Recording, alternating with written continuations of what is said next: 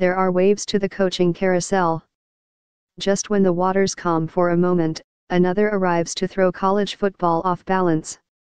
After a truly wild Friday, and some official announcements during the weekend and into Monday, the end to the first wave of the 2017-18 cycle is here.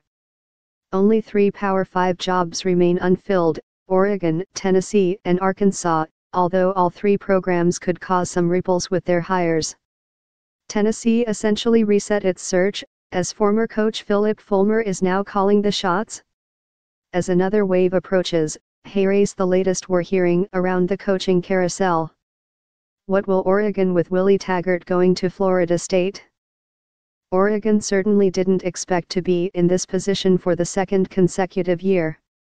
With Taggart departing, the school could look internally, and I am told co-offensive coordinator Mario Cristobal, the former Florida international coach, would have the best chance to be promoted, not defensive coordinator Jim Leavitt. Former Texas A&M head coach Kevin Sumlin certainly seems like a good option, as he could continue Oregon's recruiting success in Texas and on the West Coast. I would expect Oregon to look at California's Justin Wilcox, a former Ducks defensive back who is from Eugene. But Wilcox is just getting started in Berkeley and might hesitate to leave after just one season, especially to another Pac 12 North school. Boise State coach Bryan Harsin, who is 41 12 with the Broncos, is another good option. Fresno State coach Jeff Tedford also could enter the radar after engineering an incredible turnaround this season with the Bulldogs.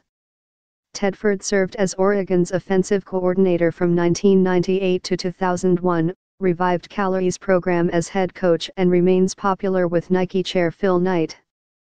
He also could do wonders with Ducks quarterback Justin Herbert. What are Phillip Fulmer's next steps with Tennessee's search?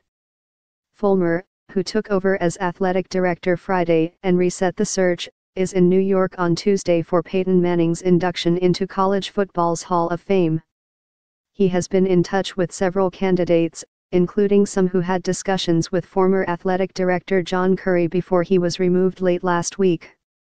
SMU coach Chad Morris is among those who talked with Currie but remains on Tennessee's radar with Fulmer calling the shots.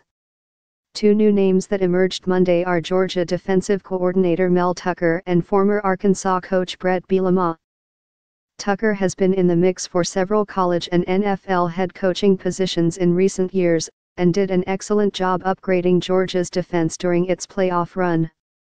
Arkansas fired Bielema primarily because of his struggles in SEC play, 11 to 29, but Bielema brings 12 years of Power 5 head coaching experience, a 97 to 58 career record, and the personality that could resonate well on Rocky Top. Auburn defensive coordinator Kevin Steele is still an option for Tennessee, which needs to wrap up its process soon. With Gus Malzahn off the table, where does Arkansas look next?